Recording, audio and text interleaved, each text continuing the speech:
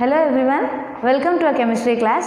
So in today's chemistry class, we are going to discuss a topic that is salt analysis method. So in the salt analysis method, we are going to discuss about the confirmatory test of anions.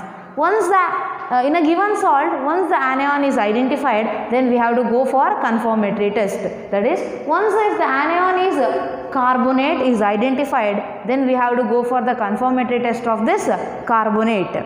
So we are discussing now. So we have to take a small amount of the given salt in a test tube and we have to add BaCl2 solution to that salt and mix it well.